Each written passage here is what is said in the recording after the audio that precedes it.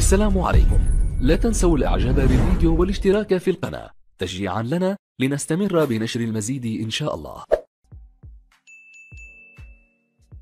أعوذ بالله من الشيطان الرجيم. بسم الله الرحمن الرحيم. والصلاة والسلام على أشرف المرسلين. أيها المتابعون الكرام أيتها المتابعات الكريمات السلام عليكم ورحمة الله وبركاته.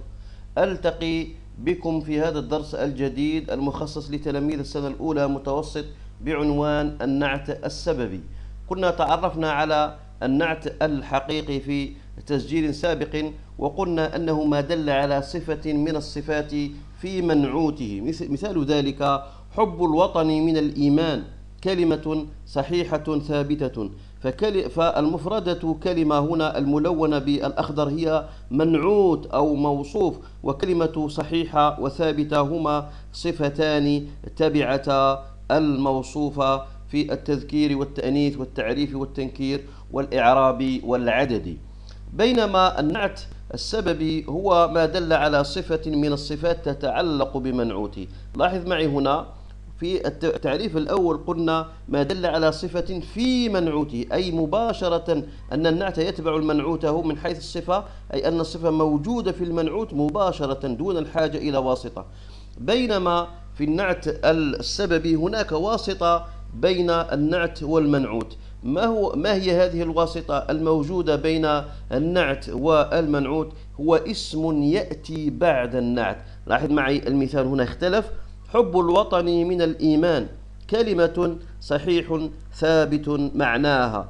إذا كلمة معناها غير موجودة في المثال الأول بالنسبة للنعت الحقيقي. إذا هي آه، هو اسم يأتي بعد النعت السببي فكلمة صحيح وكلمة ثابت هما نعتان سببيان يبينان صفة ليست ليست في المنعوت كلمة وإنما صفتان موجودتان في الاسم الذي جاء بعد النعت السببي وهو المعنى.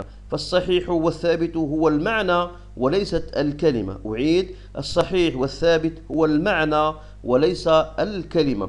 إذا وكأن الصفة هنا وهي صحيح وثابت تبعت المنعوت كلمة ليس مباشرة كما في النعت الحقيقي وإنما عن طريق واسطة. ما هي هذه الواسطة؟ هي هذا الاسم الذي جاء بعد النعت السببي.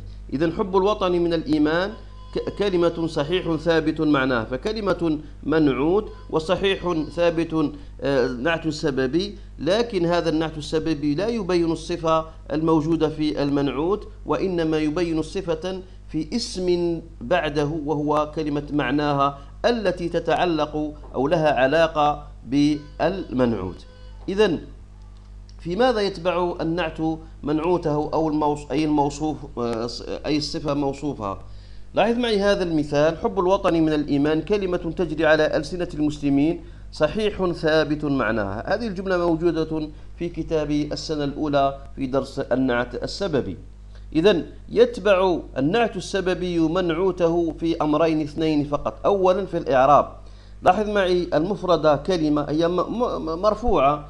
أيضا النعت السببي صحيح ثابت ومرفوع. إذا يتبع النعت السببي منعوته في الإعراب. إذا كان المنعوت منصوبا كانت كان النعت السببي منصوبا. وإذا كان المنعوت آه، آه، مجرورا كان النعت السببي كان النعت السببي مجرورا. وإذا كان المنعوت منصوبا كان النعت السببي منصوبا. يتبع النعت السببي آه، المنعوت أيضا في التعريف والتنكير. لاحظ معي المفردة كلمة هي الآن نكرة. أيضا كلمة آه، صحيح وثابت وهي النعت السببي. أيضا نكرة إذا يتبع آه، النعت السببي منعوته في الإعراب وفي التعريف والتنكير فقط. يبقى لنا الآن أمرين اثنين. بالنسبة للعدد فإن آه، النعت السببي دائما يكون مفردا. حتى لو كان المنعوت جمعا أو مثنى فإن النعت السببي يلزم الإفراد فقط. أيضا يتبع آه، النعت السببي أو يخالف النعت السببي آه، منعوته من حيث التذكير والتأنيث ولكن النعت السببي هنا لا يتبع المنعوت من حيث التذكير والتأنيث ولكن يتبع الاسم الذي جاء بعده كما تلاحظون في هذا السهم المبين. إذا يتبع النعت السببي الاسم الذي بعده في التذكير والتأنيث فهو لا يتبع منعوته ولكن يتبع الاسم الذي بعده.